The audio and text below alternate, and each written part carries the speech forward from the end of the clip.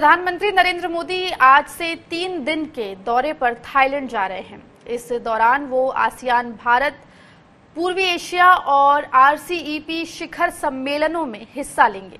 लेकिन दुनिया भर की निगाहें बैंकॉक में होने वाली रीजनल कॉम्प्रिहेंसिव इकोनॉमिक पार्टनरशिप, यानी आरसीईपी पर टिकी है। माना जा रहा है कि भारत इस पर हस्ताक्षर कर सकता है। हालाँकि देश में इसका काफ़ी विरोध हो रहा है। दरअसल आरसीईपी 16 देशों के बीच होने वाला मुक्त व्यापार समझौता है, जिससे इन देशों के बीच होने वाले व्यापार को आसान बनाया जा सकेगा। इन देशों के बीच पारस्परिक व्यापार में टैक्स की कटौती के अलावा कई तरीके की आर्थिक छूट दी जाएगी। इन 16 देशों में 10 आसियान समूह के और 6 देश वे हैं जिनके साथ आसियान देशों का मुक्त व्यापार समझौता है।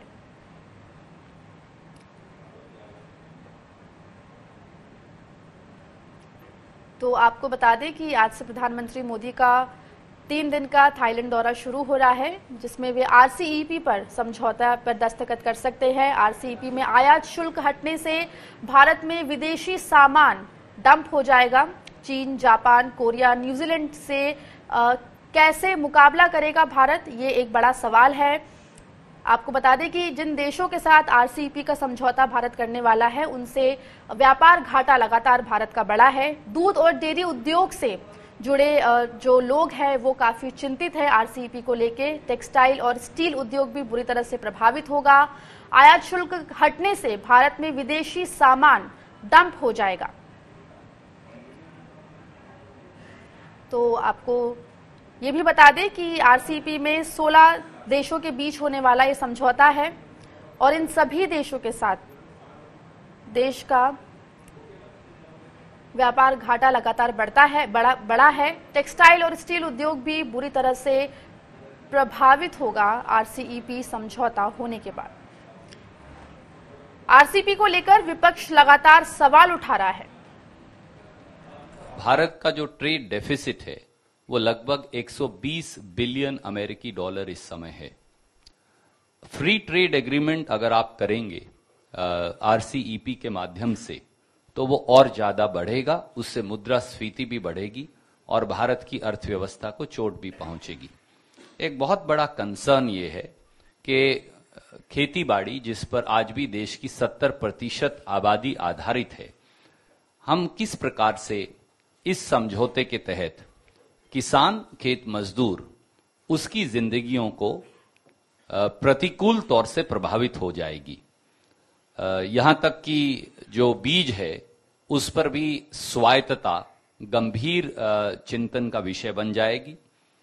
हमारा जो डायरी सेक्टर है दूध का जो उद्योग है, वो बहुत बड़े खतरे के अंदर पहुँच जाएगा क्योंकि विदेशी प्रोडक्ट्स यहाँ डंप हो जाएँगे। इसी प्रकार से जो मछली पालन के उद्योग में पूरे कोस्टल के अंदर हमारे साथी मछुआरे और दूसरे लोग लगे हैं, उनकी ज़िंदगी और रोज़मर्रा के उनके व्यवसाय पर इतना प्रतिकूल प्रभाव पड़ेगा कि शायद वो अपनी रोजी रोटी के लिए मजबूर हो जाएँ।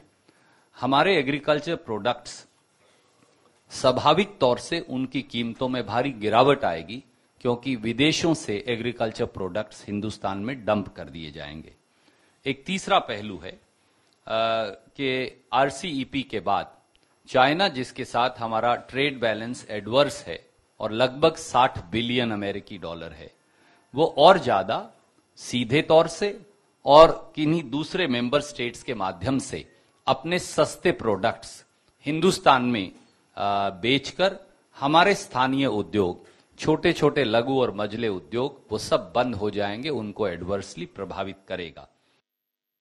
चीन से आयात, हमारे कृषि सहकारी संगठन जो हमारे कोऑपरेटिव हैं, डेयरी और कृषि जो और चीनी है, गेहूँ है, और तीसरा ये जो फ्री डेटा फ्लो है, इसके संदर्भ में जो आज बात हो रही है नेशनल इंटरेस्ट का नजरअंदाज किया जा रहा है और सिर्फ़ सिक्योरिटी इंटरेस्ट की बात हो रही है।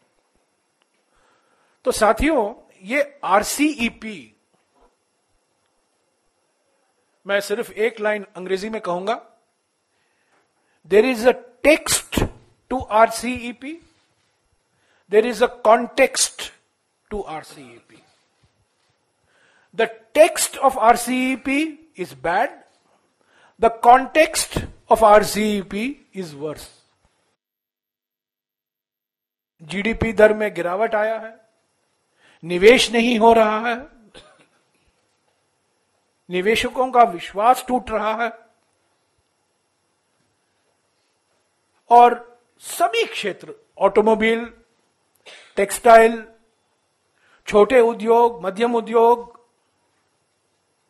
कहीं भी जाइए, किसी भी राज्य में, और हाल में ही हरियाणा और महाराष्ट्र के चुनाव में ये मुद्दे महत्वपूर्ण थे।